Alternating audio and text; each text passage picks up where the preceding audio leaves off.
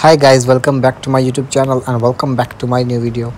Right now this video is very informative and very interesting for you. So in this video i am going to be show you how to block ads on iphone.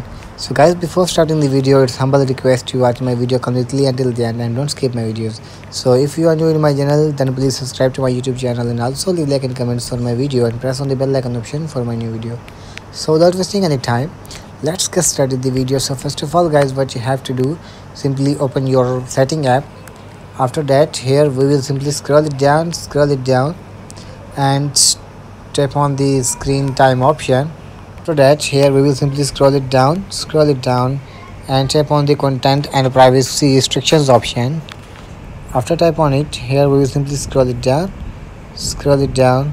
You can see here apple advertising option so you have to simply type on it here. After that you can see here allow and don't allow option. So if you want to block your ads on iphone so you have to simply type on don't allow option. After type on it you have to simply go back to the home screen and check that your problem has been fixed or not.